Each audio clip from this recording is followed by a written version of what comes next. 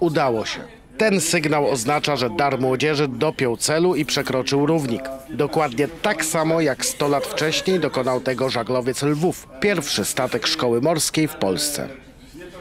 Oni przecierali szlaki. To był pierwszy rejs, y, coś niesamowitego. To było, y, to było naprawdę wielkie wydarzenie.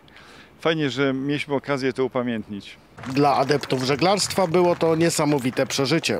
W końcu przejście równika jest jednym z ważniejszych osiągnięć każdego marynarza. To jest taki duży krok naprzód. Oni już są, mówiąc szczerze, pełnoprawnymi marynarzami. Ja to tak odbierałem i sądzę, że oni też tak powinni to odebrać.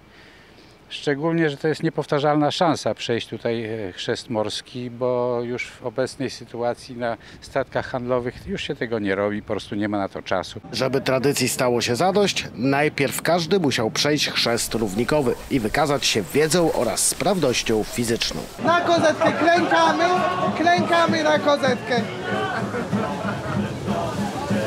Łok, łokcie opieramy na kozetce przy kolanach, przy kolanach proszę pana. Pana, to nie są żarty. I pochyli się jeszcze trochę do przodu. Pochyli się, nie kuli jak pies. Nie kuli jak pies, bo nie dojdę. Łatwo nie było, ale marynarze to twardzi ludzie o mocnych charakterach. Szaleństwo po prostu, wymęczyli nas równo, rekin był genialny, przetopili nas, pomalowali, ogolili, jest fresh, piękna nowa frystylówka. No i imię genialne, pełen Nagielbank. Dziękuję wszystkim, którzy wymyślili tą nazwę. Pozdrawiam, idę dalej. Które było najtrudniejsze ćwiczenie? Najtrudniejsze? Mm, myślę, że całowanie nogi worona. Jeszcze nigdy na półkoli południowej nie byłem, chociaż trwało to raptem pół godziny. Aczkolwiek zawsze coś. Fajnie było zobaczyć S na repetytorze. Po szeregu prób Neptun mógł z czystym sumieniem wystawić świadectwo przekroczenia równika.